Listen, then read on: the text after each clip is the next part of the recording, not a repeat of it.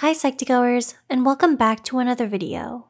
Thank you so much for all the love and support you've given us, enabling us to make yet another exploration into everyday psychology. So let's begin. Are you weary of company lately? Does keeping up with your relations seem more and more like a daunting task? Depression is one of the most common mental disorders across the world, a mental illness that takes a toll on you, but it's not something to be ashamed of. It can affect all aspects of your life, ranging from your career to the relationships you have with others. It can often creep up on you in the form of social withdrawal. Even your day to day interactions can become taxing. Before we begin, please remember do not take this video as a medium for self diagnosis. We aim to help you learn more and to better understand through our videos, inculcating compassion and being better able to help those suffering. If you resonate with any of the signs mentioned, seeking professional opinion is the way to go. With that said, here are five reasons why you withdraw when depressed. 1. You feel unworthy.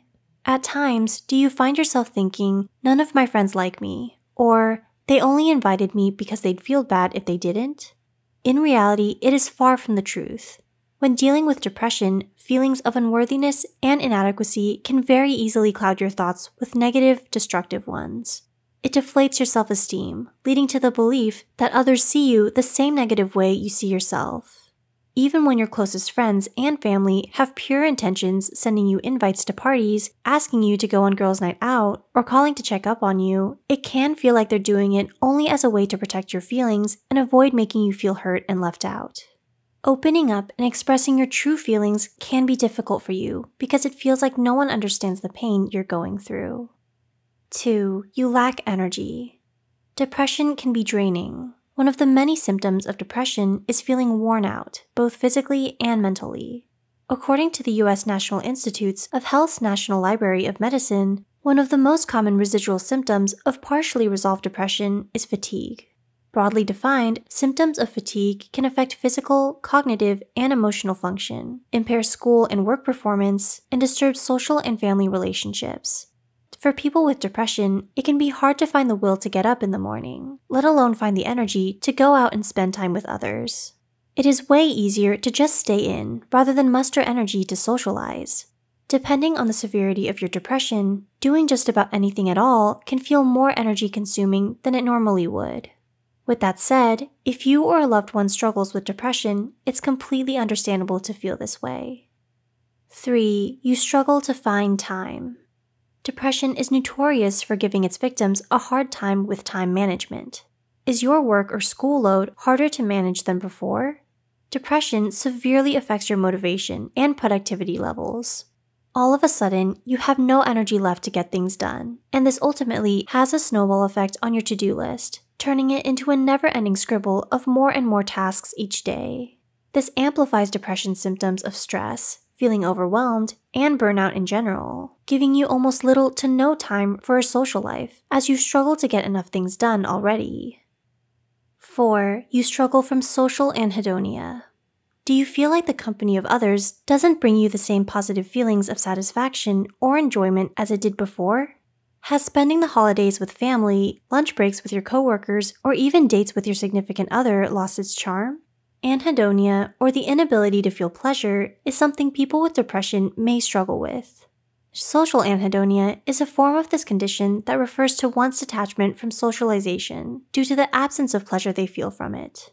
While everyone's experiences may vary from each other, social anhedonia can be very stressful. You might still crave forming and maintaining deep, meaningful relationships with other people, but social anhedonia prevents you from doing so. Over time, this could lead to self blame for your feelings of loneliness and isolation. 5. You have a history of social anxiety. According to research, there's a strong link between social anxiety disorder, or SAD, and future depression, making people diagnosed with SAD prone to depressive like tendencies. If you or a loved one has already been diagnosed with social anxiety, the presence of depression in your or their life can further reinforce these antisocial and self isolating habits. Along with depression, social anxiety is another common mental health condition that goes beyond a person's quality of shyness. It hinders your ability to do even the smallest acts, like making eye contact with others or being present in a populated room without feeling uneasy. It only furthers your need to withdraw from others. Social withdrawal, along with other depressive symptoms, is not your fault, nor does it make you less worthy. Such unintentional actions are driven by your depressed mental state, and not by actual feelings you hold within your heart. Socialization isn't all about just making small talk with others or making new friends. It's also about accepting support from loved ones and opening up about your struggles to people you trust.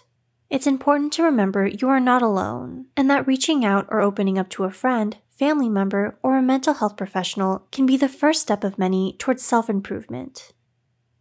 We hope we were able to give you insight into some of the reasons why depression can lead to social withdrawal. Do you find these relatable? Let us know in the comments below. If you find this video helpful, be sure to hit the like button and share it with someone you think might be socially withdrawn due to these reasons. Don't forget to subscribe to Psych2Go and hit the notification bell for new videos. Thanks for watching.